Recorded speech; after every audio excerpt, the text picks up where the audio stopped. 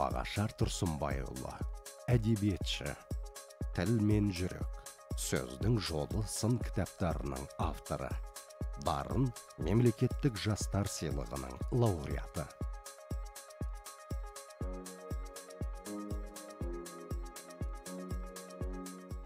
Жастық адам өмірінің бір ең бір мағыналы кезеңі. Бірақ жастың өзі сол жастықтың қадірін өз уақытының қадірін бағаламай білмей өткізіп жатады. Осы жастыққа байланысты абайдың көптеген өлеңдері ойлары бар. Бәріміз жаттап өскен жасымда ғылым бар деп ескермедім пайдасын көре тұра тексермедім. Ер жеткен соң түспеді уысыма қолымды мезгілінен кеш сермедім деп басталатын өлеңі.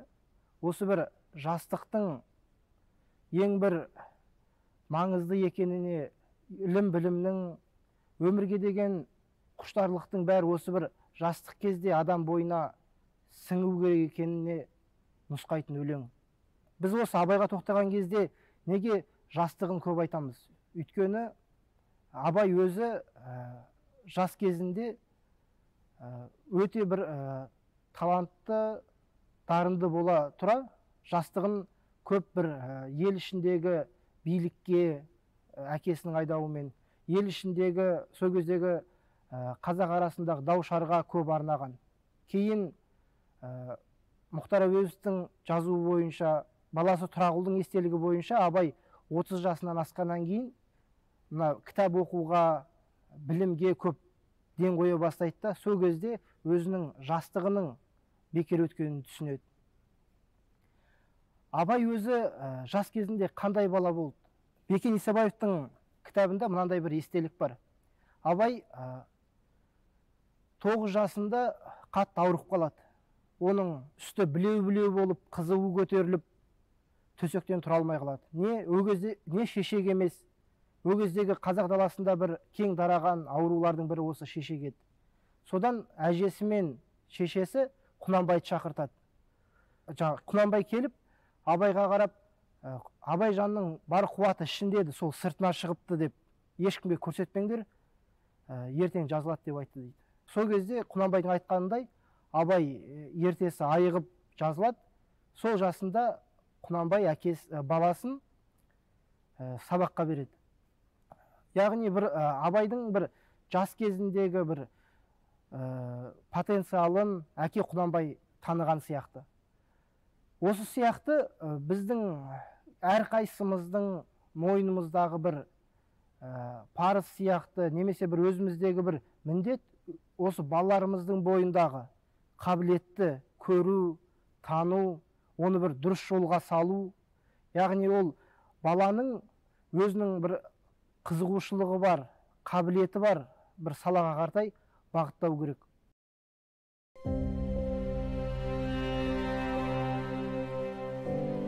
Білімдіден шыққан сөз талаптыға болсын кез.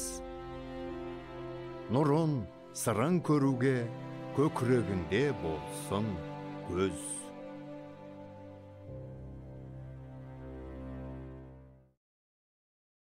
Ол абайдың айтатыны бар ә, арыңды жасыңнан сақта дейді. Осы бір ә, адам бойындағы бір ә, бүгінгі тілмен айтқанда эмоциялық интеллект дегенді абай осы бір жастардың бойындағы ең бір маңызды қасиеттердің бірі деп атайды. Ғылым таппай мақтанба орын таппай баптанба құмарланып шаттанба бес нәрсеге ғашық бол бес нәрсеге асық бол деген абай осы бес нәрсесі де бүгінгі әлемдің ә, жетекші менеджерлері еуропадағы ә, негізгі бір алпауыт бизнесмендер байлардың бір айтатын ә, осы бір ә, эмоциялық интеллектісі осы бір өлеңде тұр. Бұл өлеңдегі негізгі бес қасиет осы бір жастыққа керек негізгі қасиеттер. Бірде абай ә, қарқаралыға барып өзімен бірге нөкерлері де жүреді. Абай ылғи өзі тай сойып соның өзімен бірге жаңағы жейтін тамақтарын өзі сойдырып өзі дайындатады екен. Сол кезде мәмбетей деген бір кісі сол малын сойып беріп кейін соның терісін сатып соның бір пайда көргенін мақтан көріп айтқан кезде абай айтты дейді ә, мені ұялмаған арсыздың бәрі жейді деп. Яғни осы жердегі жаңағы абайдың өлеңінде айтып кеткен арыңды жасыңнан сақта деген ә, нәрсесі абайдың өне бойында бір өмірлік қағида болған сияқты. Бүгінгі біз ә, жастықтың осы бір мағынасын білуде жастықтың бір қайратын білуде осы бір ә, қасиеттерге адамгершілік бір қасиеттерге мән беру керек сияқтымыз. Осы бір кезеңдерде бізде жастарға жас келсе іске деп жастарды бір жаңа қызметке тағайындайды бір оқып келген болашақтан оқып келген балаларды біз қатарлы жігіттерді бізден сәл үлкендерді бәрін бір негізгі бір мемлекеттің маңызды бір тетіктеріне бас шығып қойып жатады. Бірақ осы жерде біз ә, жастардың бір тек қана біліміне ғана арқа сүйейтін сияқтымыз. Оқып келген балалардың оның тіл білетініне оның бір адамдармен қарым қатынас былай ә, жасай алатынына ғана мән беретін сияқтымыз да ал бірақ олардың бойындағы мына адамгершілік қасиеттер қаншалықты қалыптасқан деген қағидаларға біз мән бермейтін сияқтымыз. Тәуелсіздік заманда туған біздің өзіміз отыздан асып барамыз. Осы бір замандарда біз мемлекетке қалай қызмет етеміз деген нәрседе біз біздің ойымызда тек қана бір біліммен бір ә, реформа жасау деген сияқты ә, ой болмау керек деп ойлаймын. Абайдың осы бір ә, жасқа қоятын талаптарының бірі ол ә, кеңдік. Ол кең болу яғни ол бір өзімшіл болмау өзімшілдік деген кез келген нәрседе мысалы ә, біз осындай бір сөздерді енді айтқанды жақсы көреміз. Мысалы адамды бір тәкаппар адамдарды немесе бір эгоист адамдардың бір қасиеттерін олардың бір сондай бір өзімшілдіктерін жоққа шығара отырып бірақ бір өзіміз сондай бір өзімшілдікке ұрынып қаламыз. Бір ә, ә, кезеңдерде абай ол кезде балалы шағалы болады. Сол кезде бір, бір жас шыққан кезде бала шағасымен бірге жайлауда бірге болғысы келеді. Ол кезде ә, балалардың бәрін жеке жеке отау тігіп бір бір ауыл қылып қояды. Сол кездерде есіркеп деген өзінің адам қылған ә, бір көршісі тұрады. Оны не үшін адам қылғанда қазір айта кетеміз? Содан ә, абайдың өзінің ауылында түйелері болмай қалып сол есіркептен түйелерін сұратады. Сол кезде ә, есіркеп менің түйелерім жауыр болады деп абайға түйесін бермей қояды. Сонда абай айтты дейді мен кеңіппін ғой. Маған егер тәкежан сұраса ол қорқып беретін еді дейді. Тәкежан деген ол абайдың ағасы ол кішкене озбыр ә, бүгінгі күннің бір тілімен айтқанда бір автократ бір диктатор адам. Ол өзінің айтқаны болмаса күшімен де көндіретін адам. Ал абайдың сол кездегі бір кеңігені ол жаңағы есіркептің бір абай оны бір жазаламайтынын біліп бір еркіндікке барып тұр. Абай осындай бір ә, еркіндіктерге жол берді. Ә, осындай бір кеңдік бүгінгі біздің ә, осы қалыптасып келе жатқан жастарға ең бірінші керек қасиет деп ойлаймын. Өйткені бір қоғамдағы бір осы бір дамуды тежейтін нәрселердің бірі осы бір конфликт деген дүние. Енді ә, абайдың жаңағы есіркеп, есіркепке байланысты бір қасиетін айта кету керек. Абай өз заманында ә, ол жастайынан абай сондай болған. Абай өзі ә, аға сұлтанның баласы өзі жастайынан билікке араласқан бай бағлан. Өз заманында абай бір ұры адамды көрсе бір ә, сол ұрыларды ұстап алып одан ә, көкбайдың естелігінде бар ұрыдан алатын жалғыз парасы ол шындық еді дейді. Яғни ол шындығын айтып мойындатып сосын сен осы ұрлығыңды қой мен саған алдыңа мал берейін жаңа қойыңды берейін сиырыңды берейін үйіңді тігіп берейін сен осындай шаруаңды жаса бірақ ұрлығыңды қой деп осы бір адамдарды өзінің ауылына топтастырған. Осы есіркеп жаңағы абайға түйе бермей оған есіркеп сондай бір кезінде ұрлықпен алысқан адам болатын. Абайдың тағы бір ескертетін нәрсесі жастарға байланысты абай айтады ә, қуанбаңдар жастыққа деп деген өлеңі бар. Осы бір өлеңінде абай жас адамдардың бойындағы бір жастық деген ә, кезеңге байланысты бір еліріп кететін мінездерін айтады. Яғни абай өзінің жастығының бос өткеніне өзінің жастығының бір елдің бір дауымен шарымен өткеніне өкіне отырып бірақ жас адамға бір осындай бір ескертулер айтады. Осы бір ескерту бізге бүгінгі күні аса маңызды сияқты. Өйткені қазіргі жастар алдыңғы бір ұрпақтардың сөздерін бір мойындамау деген бір тенденция қазір қалыптасып келе жатыр. Жастардың бойындағы бір жастық бір максимализммен қоса бір ә, идеологиялық та бір ә, шатасулар келген сияқты. Мына қазіргі бір шекаралар бұзылып жатқан кезде. Жастықтың оты жалындап жас жүректе жанған шақ. Талаптың аты арындап әр қиынға салған шақ жалпы біздің өміріміздегі біз абайды көп айтамыз біз абайдың бір өлеңдерін көбірек жаттаймыз. Бірақ ә, біз өзіміз ә, абайға біз қаншалықты бір жақынбыз. Біз соны көп ойланбасақ керек. Біз абаймен қалай жақындасамыз? Біз қалай абайды өзіміздің бір жүрегімізбен сезінеміз деген дүниеге біз өте кеш келетін сияқтымыз. Оның бір себебі біз абайды бір ә, қатып қалған бір монолит сияқты тұрсынжан шапай айтқандай соған біз абайды бір сондай бір монолитке абайды бір пұтқа айналдырып алдық. Біз тек қана абайдың бір осындай бір қанатты сөздерін абайдың бір өлеңдерін ғана жаттаймыз да бірақ абайдың бір шын өмірдегі оның бір ә, толғаныстары бір қиналыстары қалай болды деген нәрсеге біз бойлай бермейміз.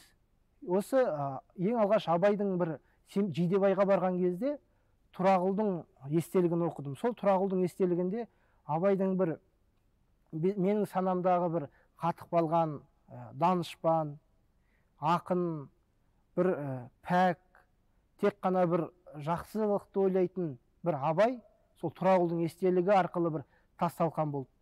Ол кездегі ә, жаңағы абайдың бір шонжар болғанын айттық қой. Осы бір кезеңдерде абайдың бір шәукімбай деген ә, малшысы болады. Ол қызметшісі болады ол қызметшісі өзі абайдың үйінің жаңағы отынын шабады суын қайнатады. Бір күні үйінде жаңағы отын жарып жатса балта балтасы өтпей тұрады. Сонда айтты дейді шәукімбай айтады осы абай не істейді осы? Күні бойы тамақ жеуді ғана біледі осы балтаны да қайрап қойса болады ғой күні қолы бос қой деп айтты дейді. Сол кезде абай ә, артында осы сөзді естіп абай күл абай күледі осы шаукімбай дұрыс айтады деп. Абайдың осы бір өмірдегі бір қарапайым бір тұрмыстағы ә, адам екенін осы бір кезеңдерден көресіңіз. Осы, осы сол сияқты ә, абайдың бір ә, қияспайы да бар. Осылар арқылы абай бізге жақындай түседі. Абайдың ең бір бір өмірдегі бір жақсы бір мінездерінің бірі ол ә, өте талантты деген жас ақындарды жас музыканттарды ә, ертегішілерді өзінің айналасына топтап жинайды. Өзінің ақын шәкірттеріне ә, қабілеті бар ә, жаңағы ақындыққа қабілеті бар жігіттерге дастан поэма жаздырады. Ал музыкалық қабілеті бар адамдарға оларға күй, күй шығартады. Осы тұрғыдан алғанда абай өзінің бір айналасын бір тәрбиеледі. Бір жастарды осы сондай бір жастардың шоғырын қалыптастырды. Абайдың ақындық мектебі деген үлкен бір ә, енді бүгін қазір қалыптасқан ұғым ғой бірақ сол кездегі бір жоқ дүниені абай қалыптастырды. Осының бәрі абайдың бір өзінің өміріндегі бір есесі кеткен өзінің өмірінде бір жаңағы қолын мезгілінен кеш сермедім деген бір өкініштерінің орнын толтыру сияқты болып көрінеді. Осы тұрғыдан алған кезде абай өзінің бір жастығына өкініп қойған ғана адам емес ол бір жастарға ескерту ғана айтып қойған адам емес. Соны бір іс жүзінде өзінің жасында ғылым бар деп ескермегенін бірақ кейінгі жас ескерсін деп өзінен кейінгі жастарды оқытты. Ол інісі халиоланы арнайы сол бүкіл шығынын мойнына алып сол әкесінен сұрап ә, петербургға оқуға жібереді. Ол өзінің баласы ә, әбдірахманды жас кезінен әскери училищелерге беріп алдымен мына түменге сосын омбыда оқытады. Ол өзінің баласы мағауияны кішкентай бір тоғыз жастарынан оқытады. Ол кездегі қазақ даласында ешкім қыздарын оқытпайтын абай өзінің күлбадан деген қызын оқуға береді. Олардың бәрі мағауия кәкітай гүлбадан бәрі бірге қатар оқиды. Яғни абай бір өзінің бір ә, жастығының бір ә, бос өткенін өзінің бір жастығының ә, зая өткенін білді бірақ ә, бір өкініп қана қойған жоқ. Өзінің бір өкінішін бір жуып шайған сияқты. Мен өкінсем де бір кейінгі жастар бір өкінбесін деген бір мұрат болған сияқты. Біз осы жағына алған кезде абайдың осы бір қасиетін ескермейміз. Біз абайды айтқан кезде абай жастығына өкінген жаңағы жастығының бос өткізіп алған құдай ау қайда? сол жылдар махаббат қызық мол жылдар ақырын ақырын жылыстап шегініп кетті құрғырлар деп бір өзінің бір зарын бір өкінішін төккен адам ретінде ғана сипаттаймыз. Ал бірақ абай осының бір бүкіл өкінішінің бәрін өзінің өмірінде бір жуып шаюға соны арнаған сияқты. Осы тұрғыдан алған кезде біз ә, абайдың осындай бір өмірге жақын бір әрекеттерін оның ә, тек қана бір ә, өлең жазып тек қана бір қара сөз жазып осындай бір ә, ғақлия айтумен бір ақыл айтумен айналыспаған адам екенін біз ұмытпауымыз керек сияқты. Абай өз заманында билікке де араласқан абай бір ә, сол кездегі бір қазақ қоғамында қалыптасып қалған бір сол рулық бір текетірестердің бір ә, мәселелері болды. Абай оған да араласқан абай дау шарға да араласқан. Бірақ абай өзінің бір сол бір өмірінде өзінің бір ә, жасы жетіп білім ғылымға бір ден қойған кездегі бір өкінішін бір жастарды тәрбиелеу арқылы ә, соны бір жуып шайған. ә, қазір семейде 19 ғасырдан қалған әнияр молдабаевтың үйі бар. Әнияр молдабаев ол ә, қазақтан шыққан тұңғыш банкир адам. Ол банкирді да абай өз қаражатына оқытқан. Абайдың бір қасиеті жаңағы ол тек қана өз балаларын өзінің бір жақын туыстарын ғана оқытқан жоқ. Кез келген кедейдің баласы болсын өзінің айналасындағы қабілеті бар бір оқуға ынтасы бар ә, балалардың бәрін абай өз қаражатына оқытқан. Сондай бір адамның бірі сол әнияр молдабаев болған. Осындай бір қасиеттер тек қана ә, бір жастықтың маңызды екенін бір жастықтың осы бір ә, қайратты кезең екенін ғана бір айтып қана қоймай бір осы бір ә, жас кезеңдерде ә, жасты танып соны бір оқыту және бір өкініп қана қоймай соны бір өзіңнің әрекетіңмен соған бір жауап қайтару керек сияқты. Ақырын жүріп анықпас еңбегін кетпес далаға. Ұстаттық қылған жалықпас үйретуден балаға.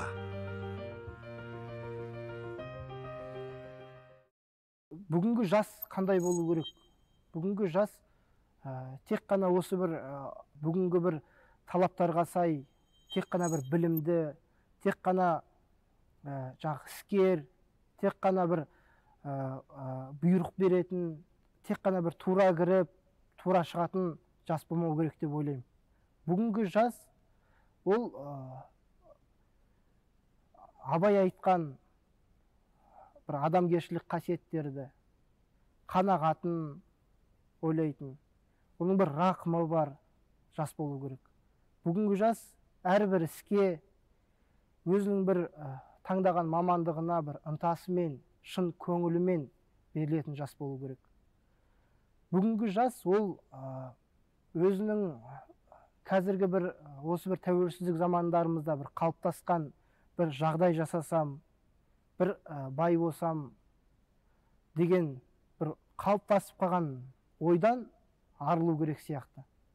Әрине адамның жақсы тұрғаны адамның жақсы көлік мінгені жақсы киім киіп жүргені ол өмірде маңызды. Бірақ осының бәріне бір еңбекпен осының бәріне өзінің бір ретімен жету керек сияқты. Бүгінгі біздің ә, бір қоғамда бір қалыптасып қалған бір осындай ә, көзқарастар бар. Абайдың айтатын жаңағы бірақ секіріп жетем деп бірақ қарғып өтем деп жететін бір мінездер адам бойына сіңіп қалған сияқты. Қазіргі қазақ жасы өмірде өз орнын табу үшін абай айтқандай дүниеге жаңағы сен де бір кірпіш дүниеге кетігін тапта бар қалан дегендей өз өмірін өз орнын тауып бір осы қоғамдағы өз тетігін табу үшін ең бірінші адамгершілік абай айтқан бір адамгершілік қағидаларға бойсыну керек сияқты.